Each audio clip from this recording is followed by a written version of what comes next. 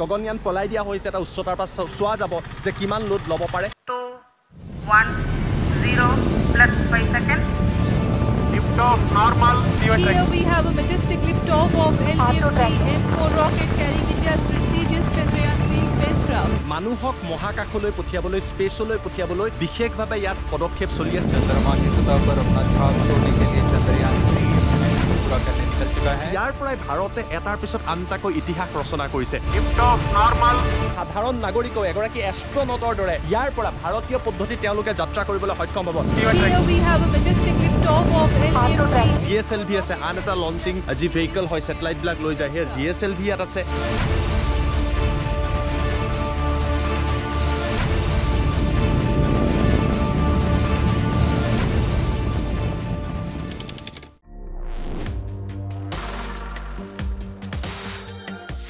ঈশ্বৰৰ কথা ক'লেই প্ৰতিগৰাকী ভাৰতীয়ই গৌৰৱ অনুভৱ কৰে। আৰু পি আই বিৰ উদ্যোগত হোৱা এটা যাত্ৰাত আমি সুযোগ লাভ কৰিলোঁ। ইছৰোৰ শ্ৰীহৰিকোটাত থকা সতীশ ধাৱন স্পেচ চেণ্টাৰ পৰিদৰ্শন কৰাৰ।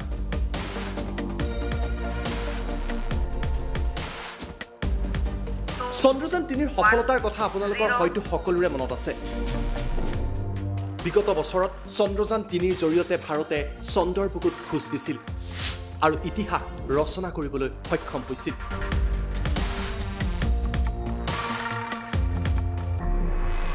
এই চন্দ্ৰযান তিনি লঞ্চ কৰা হৈছিল ইছৰোৰ শ্ৰীহৰিকোটাত থকা এই সতীশ ধাৱন স্পেচ চেণ্টাৰৰ পৰা।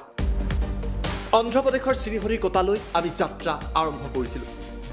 তামিলনাডুৰ পৰা আমি এতিয়া অন্ধ্ৰপ্ৰদেশলৈ গৈ আছোঁ। অন্ধ্ৰপ্ৰদেশৰ যি ইছৰো শ্ৰীহৰিকোটা আছে শ্ৰীহৰিকোটাত য'ত ইছৰোৰ যি কাৰ্যালয় আছে বা য'ৰ পৰা ইছৰোৱে বিভিন্ন ধৰণৰ ছেটেলাইট লঞ্চ কৰে তালৈ আমি গৈ আছোঁ।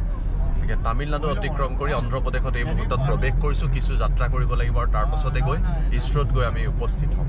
আৰু আমি বৰ্তমান সময়ত শ্ৰীহৰিকোটালৈ গৈ আছোঁ। শ্ৰীহৰিকোটালৈ যোৱা ৰাস্তাটো মই আপোনালোকক দেখুৱাম। এখন গাঁৱৰ মাজেদি যি ইছৰোৰ যি শ্ৰীহৰিকোটা আছে তালৈ যোৱা হয়। আৰু সেই গাঁওখনৰ মাজে মাজে যাত্ৰা কৰিছোঁ। এই আপোনালোকে দেখিছে এইখন হৈছে সেই বিশেষ গাঁওখন। এটা ভিতৰুৱা এখন গাঁও এটা গ্ৰামাঞ্চলৰ ভিতৰত আছে য'ত খেতি পথাৰ আছে গৰু ম'হ আছে এয়া আপোনালোকে চাওক। গাঁৱলীয়া পৰিৱেশত আচলতে অন্ধ্ৰপ্ৰদেশৰ যি তিৰুপতি ডিষ্ট্ৰিক্ট আছে জিলা আছে তাত ৰখা হৈছে। আৰু ইয়াত বাৰ্ড চেঞ্চুৰীও আছে পুলিকাত বাৰ্ড চেঞ্চুৰী য'ত বিভিন্ন ধৰণৰ চৰাই চিৰিকটি পোৱা যায়। গতিকে যিমান দূৰলৈ চাই বাৰ্ড চেঞ্চুৰীৰ কাষত এই গাঁওখনৰ কাষত সৰু এখন গাঁও আৰু পাৰ হোৱাৰ পাছত আমি এই ইয়াত বিভিন্ন ধৰণৰ বগলী পোৱা যায় বিভিন্ন ধৰণৰ চৰাই চিৰিকটি আহে। আৰু ইয়াৰ পৰা প্ৰায় আপোনাৰ দহ কিলোমিটাৰ বাকী আছে। এই ৰাস্তাটোৱেদি যোৱাৰ পাছত দহ কিলোমিটাৰ যোৱাৰ পাছতেই যি ইছৰোৰ যি মূল যি শ্ৰীহৰিকোটা অঞ্চল আছে বা যিটো আইলেণ্ড আছে এটা দ্বীপত আচলতে আছে সেই দ্বীপটোত আমি গৈ পামগৈ য'ৰ পৰা চন্দ্ৰযান তিনি লঞ্চ কৰা হৈছিলে আজি কিছু আজি প্ৰায় এবছৰ পূৰ্বে য'ত ভাৰতে সফলতা পাইছিলে। আৰু ইছৰোৰ যি বৈজ্ঞানিকসকল আছে বা যিসকল ইকুইপমেণ্টছ আছে যিবিলাক মেচিনেৰী আছে এই যিটো ৰাস্তা আপোনালোকে দেখিছে এই পথটোৰেদি এই ৰাস্তাটোৱেদিয়ে পঠিওৱা সকলোবিলাক যায় বৈজ্ঞানিকসকলো এই পথেৰে যায়। আৰু ইয়াৰ পৰাই এই অঞ্চলটোৰ পৰাই ভাৰতে নিজৰ ইতিহাস সৃষ্টি কৰিছে আৰু চাওক গাঁৱলীয়া অঞ্চল এইসমূহ মহ দেখিবলৈ পোৱা গৈছে। ৰাজপথত এইদৰে আছে। অসমৰ যিদৰে গ্ৰামাঞ্চলত গৰু মহ খেতি আদি হয় তেনেকুৱা এটা অঞ্চলে পোৱা যায়। কিন্তু ইয়াত ইছৰোৰ এই যিটো যিটো পথ আমি দেখুৱাইছোঁ ইছৰোলৈ গৈ থকা এই পথটোত কিন্তু গাঁৱৰ মাজতে খেতি পথাৰৰ বহুত দৃশ্যাংশ আছে। আৰু এয়া হৈছে যি বাৰ্ড চেঞ্চুৰী আমি আপোনালোকক দেখুৱাই আছোঁ ৰাজপথত পোৱা যায়। তাৰো দৃশ্য দেখুৱালোঁ। গতিকে কেইটামান মুহূৰ্তৰ পিছত আমি শ্ৰীহৰিকোটাত গৈ উপস্থিত হ'ম আৰু আঠ কিলোমিটাৰ আছে আৰু তাৰ পৰা যি সতীশ ধাৱন চেণ্টাৰ আছে বা লঞ্চ পেড আছে যি P S L V G S L V যিসমূহ ছেটেলাইট বা বাহনৰ জৰিয়তে লঞ্চ কৰা হয় সেইবিলাক আমি আপোনালোকক দেখুৱাবলৈ চেষ্টা কৰিম। এই শ্ৰীহৰিকোটাৰ পৰাই উৎক্ষেপণ কৰা হৈছিল চন্দ্ৰযান তিনি। লঞ্চস্থলী পৰিদৰ্শন কৰি এখন ফটো মৰাৰ আমি সুযোগো লাভ কৰিলোঁ। দৃশ্য দেখি আমি অবাক হৈ পৰিছিলোঁ। ভাৰতীয় বৈজ্ঞানিক আৰু অভিযন্তাসকলৰ অধ্যৱসায় আৰু কষ্টৰ কথা বুজি উঠিলোঁ ইছৰোত যোৱাৰ পাছতেই। কিন্তু ইয়াৰ মাজতে আমি আপোনালোকৰ বাবে লৈ আহিছোঁ আন এক ভাল খবৰ। অতি শীঘ্ৰেই ভাৰতে মহাকাশলৈ মানুহ প্ৰেৰণ কৰিব। সম্পূৰ্ণ ভাৰতীয় পদ্ধতিৰে মহাকাশলৈ মানুহ পঠিওৱাৰ সপোন দেখিছে ভাৰতে। আৰু ইয়াৰ পৰীক্ষা চলি আছে ইছৰোৰ এই সতীশ ধাৱন স্পেচ চেণ্টাৰত। গগনয়ানৰ জৰিয়তে মহাকাশচাৰীক ভাৰতে মহাকাশলৈ পঠিয়াব। ইয়াৰ বাবে কেইবাটাও পৰীক্ষা ইতিমধ্যে সম্পন্ন হৈছে। ইছৰোৱে কৈছে যে পিছৰ পৰ্যায়ত সাধাৰণ মানুহেও মহাকাশলৈ পৰ্যটক হিচাপে যাবলৈ সক্ষম হ'ব। আৰু অৱশেষত আমি আহি উপস্থিত হ'লোহি শ্ৰীহৰিকোটাত যি ইছৰ' মোৰ পাছফালে আপোনালোকে দেখা পাব। মই দেখুৱাম আপোনালোকক এয়া ইছৰ'ৰ সতীশ ধাৱান অন্তৰিক্ষ কেন্দ্ৰ শ্ৰীহৰিকোটাত। ইয়াৰ পৰাই আচলতে চন্দ্ৰযান তিনি যি- সফল পৰীক্ষণ হৈছিলে এই এই অঞ্চলৰ পৰাই হৈছিলে শ্ৰীহৰিকোটাত অন্ধ্ৰপ্ৰদেশৰ তিৰুপতি ডিষ্ট্ৰিক্টত। এটা আইলেণ্ড হয় বংগোপসাগৰ আৰু যি পুলিকেট হ্ৰদ আছে বা লেক আছে তাৰ কাষত থকা এটা আইলেণ্ড আমি দৃশ্যাংশ মই আপোনালোকক দেখুৱাইছোঁ চাওক দৃশ্য চাওক। এয়া হৈছে সতীশ ধাৱান অন্তৰিক্ষ কেন্দ্ৰ সতীশ ধাৱান স্পেচ চেণ্টাৰ শ্ৰীহৰিকোটা আৰু ইয়াত যি পি এছ এল ভি ভাৰতৰ যি পি এছ এল ভি তাৰ এটা মডেল ইয়াত ৰখা হৈছে এয়া পি এছ এল ভি যাৰ জৰিয়তে বিভিন্ন ছেটেলাইট পঠিওৱা হয়। ইছৰ'ৰ এয়া পি এছ এল ভি ইয়াত ৰখা হৈছে। সমান্তৰালভাৱে আপুনি চাওক ইছৰ'ৰ যি জি এছ এল ভি আছে আন এটা লঞ্চিং যি ভেহিকল হয় ছেটেলাইটবিলাক লৈ যায় সেই জি এছ এল ভি ইয়াত আছে। ইয়াৰ মডেল ইয়াত ৰখা হৈছে জি এছ এল ভিৰ আন এটা মডেল ৰখা হৈছে। আৰু সন্মুখৰ ভাগ যদি চাই অতি সুন্দৰভাৱে ইছৰ'ই ইয়াক মেইনটেইন কৰি ৰাখিছে সতীশ ধাৱান অন্তৰিক্ষ কেন্দ্ৰ। ইয়াৰ পৰা মাত্ৰ ছিকিউৰিটি চেক পাৰ হ'লে আমি ভিতৰত যাব পাৰিম। কিন্তু চাওক কিমান সুন্দৰকৈ ৰখা হৈছে। আৰু ইয়াৰ পৰাই ভাৰতে এটাৰ পিছত আনটাকৈ ইতিহাস ৰচনা কৰিছে। সেয়া চন্দ্ৰযান হওক বা অন্যান্য যিসমূহ ছেটেলাইট আমি উপগ্ৰহ পঠিয়াওঁ সেয়াই হওক। আৰু অতি কম খৰচত আমাৰ ইছৰ'ৰ বৈজ্ঞানিকসকলে সতীশ ধাৱান স্পেচ চেণ্টাৰৰ পৰাই আচলতে বিভিন্ন তেওঁলোকে যিসমূহ সফলতা আজৰি আনিবলৈ সক্ষম হৈছে আৰু সেই দৃশ্য আমি আপোনালোকক ইছৰ'ৰ পৰা দেখুৱাইছোঁ। আহ, সন্মুখভাগৰ গেটখন চাওক কিমান সুন্দৰভাৱে নিৰ্মাণ কৰা হৈছে। আৰু ইয়াত যিটো পৰিৱেশ এখন গাঁও আমি পাৰ হৈ আহিলোঁ পুলিকেট হ্ৰদ আমি পাৰ হৈ আহিলোঁ বাৰ্ড চেঞ্চুৰী আমি পাৰ হৈ আহিলোঁ।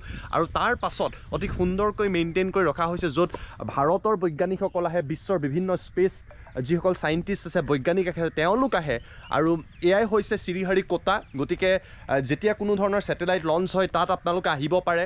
কাষত থকা এটা গেলেৰী আছে যিটো ৰাস্তা। ইয়াৰ পৰা যদি অলপ কাষলৈ যায় এটা ৰাস্তা আছে সেই ৰাস্তাটোৱেদি গৈ আমি লঞ্চিং পেডৰ দৃশ্য চাব পাৰে। যেতিয়া চন্দ্ৰযান লঞ্চ কৰা হয় কোনো ছেটেলাইট লঞ্চ কৰা হয় তাত গৈ আপোনালোকে চাব পাৰে। কিন্তু সন্মুখভাগ দেখুৱাইছোঁ পি এছ এল ভি আৰু জি এছ এল ভি ভাৰতৰ যি ভেহিকেল আছে যি ৰকেটৰ ভেহিকেল ইয়াত ৰখা হৈছে। আৰু এয়া হৈছে সতীশ ধাৱান স্পেচ চেণ্টাৰৰ সন্মুখভাগ যি আমি আপোনালোকক দেখুৱালোঁ সমান্তৰালভাৱে আমি চাওক অতি সুন্দৰভাৱে ইয়াত মেইনটেইন কৰা হৈছে। আৰু কিছু দূৰ গ'লেই কিছু দূৰ গ'লেই কিন্তু মূল অঞ্চললৈ আমি যাব পাৰিম। আৰু এয়া হৈছে পি এছ এল ভি আৰু শ্ৰীহৰিকোটাৰ যি যি সতীশ ধাৱান স্পেচ চেণ্টাৰ আছিলে তাৰ ভিতৰলৈ আমি গ'লোঁ। তাৰ ভিতৰত গৈ আমি বহু কথা জানিব পাৰিলোঁ। ভাল কথাটো হৈছে প্ৰথম এটা ভাল খবৰ মই আপোনালোকক দিব বিচাৰিছোঁ। ইয়াত মানুহক মহাকাশলৈ পঠিয়াবলৈ স্পেচলৈ পঠিয়াবলৈ বিশেষভাৱে ইয়াত পদক্ষেপ চলি আছে। ইছৰ' ইয়াক লৈ টেষ্টিং কৰি আছে মহাকাশলৈ মানুহক পঠিওৱা হ'ব এই বিশেষ স্পেচ চেণ্টাৰৰ পৰা। যিখনৰ যিটো প্ৰজেক্টৰ নাম দিয়া হৈছে বা যিখন স্পেচ ক্ৰাফ্ট থাকিব তাক গগনয়ান নাম দিয়া হৈছে। গগনয়ানৰ জৰিয়তে ভাৰতে ইছৰ'ৰ তৰফৰ পৰা ভাৰতীয় বৈজ্ঞানিকসকলে মানুহক পঠিয়াব আৰু ইয়াৰ যি আপোনালোকে সতীশ ধাৱান স্পেচ চেণ্টাৰ দেখিছে তাতে ইয়াৰ পৰীক্ষা চলি আছে। আজি বৈজ্ঞানিকসকলৰ লগত আমি কথা পাতিলোঁ। ইয়াৰ এই প্ৰান্তটোৰ পৰা কোনো ধৰণৰ electronic gadget mobile phone camera আদি লৈ যোৱা এলাও কৰা নাই। বৈজ্ঞানিকসকলে কি কৈছে মই আপোনালোকক কৈ দিব বিচাৰিছোঁ। বৈজ্ঞানিকসকলে কৈছে যে বৰ্তমান সময়ত পেৰাচুট টেষ্টিং হৈছে গগনয়ানৰ। ড্ৰপ আউট প্ৰেক্টিছ কৰা হৈছে যে গগনয়ান পলাই দিয়া হৈছে এটা উচ্চতাৰ পৰা চোৱা- যাব যে কিমান লোড ল'ব পাৰে। প্ৰথম অৱস্থাত তেওঁলোকে যি উল্লেখ কৰিছে সেই কথাখিনি মই জনাম কিন্তু দৃশ্যটো চাওক। ইয়াত কেইবাখনো ৰকেট ৰখা হৈছে ভেহিকেল যি ভেহিকেল বুলি কোৱা হয় লঞ্চ ভেহিকেল সেয়া পি এছ এল ভি এয়া হৈছে জি এছ এল ভি এয়া নামবিলাক আপোনালোকে শুনি আছে। এইখন হৈছে জি এছ এল ভি আন এখন হৈছে জি এছ এল ভি বৈজ্ঞানিক মই পুনৰবাৰ উভতি আহিছোঁ মূল বিষয়টোলৈ মূল বিষয়টো আমি কৈ আছিলোঁ যে গগনয়ান। গগনয়ানৰ ক্ষেত্ৰত প্ৰথমতে ভাৰতে তাত লৈ যি আনমেন অৰ্থাৎ মানৱবিহীন প্ৰথমতে যানখন পঠিয়াব। হয়তো অতি খুব সোনকালে এই কাম হ'ব পাৰে আৰু সতীশ ধাৱান স্পেচ চেণ্টাৰৰ পৰা পঠিওৱা হ'ব। প্ৰথমতে এনেকুৱা কোনোবা এখন জি এছ এল ভিত G S L V mark থ্ৰীত হয়তো মষ্ট প্ৰবলি পঠিওৱা হ'ব। দ্বিতীয়তে কোৱা হৈছে দ্বিতীয়তে যেতিয়া সেয়া সফল হ'ব ৰবট পঠিওৱা হ'ব ৰবট পঠিওৱা হ'ব আৰু ৰবট পঠিওৱাৰ পাছত যেতিয়া সফল হ'ব মানুহ বা মহাকাশলৈ ভাৰতে নিজৰ পদ্ধতিৰে মহাকাশ ভ্ৰমণলৈ মানুহ পঠিয়াব পাৰিব। এটা খবৰক লৈ চৰ্চা চলিছে ইছৰোৱে। ইয়াক লৈ পৰিকল্পনা কৰি আছে ইয়াক লৈ চিন্তা কৰি আছে যে ভৱিষ্যতে বিশ্বৰ আন প্ৰান্তত যিদৰে স্পেচ টুৰিজিম হৈছে যিদৰে যদি চাই বিশ্বৰ বিভিন্ন প্ৰান্তত এলন মাস্কে স্পেচ এক্সৰ পৰা পঠিয়াই বা নাছাই পঠিয়াই থাকে জেফ বেজছ এমেজনৰ তেওঁলোকে পঠিওৱাৰ পৰিকল্পনা কৰিছে তেনেকৈ স্পেচ টুৰিজিম যাতে গঢ়িব পৰা পৰ্যটন গঢ়িব পৰা যায় তাৰ বাবে ইয়াত পৰিকল্পনা চলি আছে। যদিহে গগনযান সফল হয় তেতিয়াহ'লে সাধাৰণ নাগৰিকেও এগৰাকী এষ্ট্ৰনটৰ দৰে এগৰাকী মহাকাশচাৰীৰ দৰে ইয়াৰ পৰা ভাৰতীয় পদ্ধতিত তেওঁলোকে যাত্ৰা কৰিবলৈ সক্ষম হ'ব। গতিকে পুনৰবাৰ মই আপোনালোকক ক'ব বিচাৰিছোঁ যে ভাৰতৰ বাবে কেইবাটাও ভাল খবৰ আমি বৈজ্ঞানিকসকলৰ পৰা লাভ কৰিলোঁ তেওঁলোকৰ লগত পাতিলোঁ যিটো কথা জনাইছোঁ। গতিকে আপুনি যদি সুবিধা পায় অন্ধ্ৰপ্ৰদেশ আৰু তামিলনাডুৰ সীমান্তত থকা অন্ধ্ৰপ্ৰদেশৰ ভিতৰত থকা এয়া সতীশ ধাৱান আন্তৰিক্ষ কেন্দ্ৰ বা সতীশ ধাৱান স্পেচ চেণ্টাৰলৈ আপোনালোকে আহিব পাৰে শ্ৰীহৰিকোটাত ইয়াৰ পৰাই চন্দ্ৰযান তিনি এবছৰ পূৰ্বে লঞ্চ কৰা হৈছিলে তাত। আৰু যেতিয়া কোনো ধৰণৰ লঞ্চিং হয় যেতিয়া কোনো ধৰণৰ লঞ্চিং হয় তেওঁলোকে কেইবাটাও কথা উল্লেখ কৰিছে। এই যিটো প্ৰান্ত দেখিছে ছয় কিলোমিটাৰ পৰ্যন্ত ইয়াত সম্পূৰ্ণৰূপে ছয় কিলোমিটাৰ পৰ্যন্ত এগৰাকী মানুহ ইয়াত থাকিব নোৱাৰে সেয়া বন্ধ কৰি দিয়া হয়।